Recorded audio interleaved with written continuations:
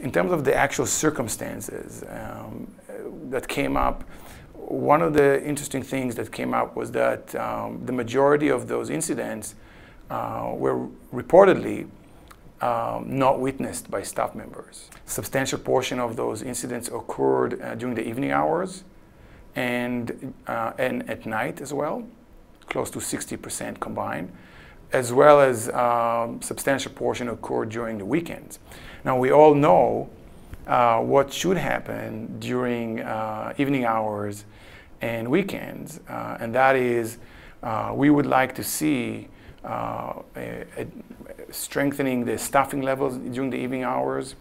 We would like to see uh, additional presence of managers on the floor to provide the guidance and supervision for direct staff members.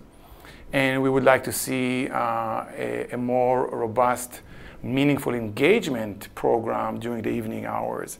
Uh, because when that's one of the secrets about this phenomena is that when you engage residents with dementia in a meaningful way, in a personally meaningful way, uh, you will see substantial reduction in those incidents. Close to half of the incidents uh, occurred, or 40, 40% or so, occurred between roommates. Uh, and um, I think that it's important to remember that the majority of residents with dementia never chose to live in a nursing home. Uh, that's number one. Second of all, the nursing home uh, is their home for all practical purposes. And third, their bedroom is their last frontier of privacy. Uh, unfortunately, we still see a large number of nursing homes where you have two uh, or three or four residents, uh, some of them with dementia or serious mental illness, uh, living, sharing a small uh, space, these individuals may have not shared a space with a stranger uh, perhaps for 70 years since college, if at all. And yes, some roommates can get along and there's, you know, there could be a sense of companionship and support and that's good. But some of those cases that are examined, uh, those residents uh, were considered as best friends. Um, but we have to remember that dementia is progressive, and even a friend may reach a breaking point, uh, and all you need is uh, one push.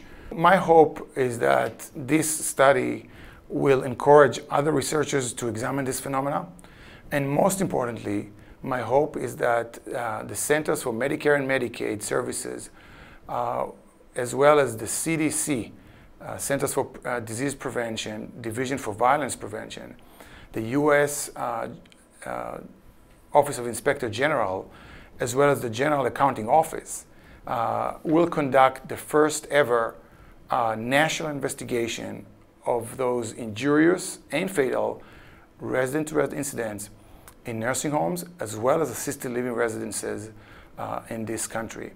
Um, the fact that we are not uh, capturing and tracking this phenomena as we speak uh, represents a major missed opportunity for learning and for prevention of these incidents and uh, developing strategies to ensure that frail and vulnerable residents will remain safe and free from psychological harm in the last years of their lives.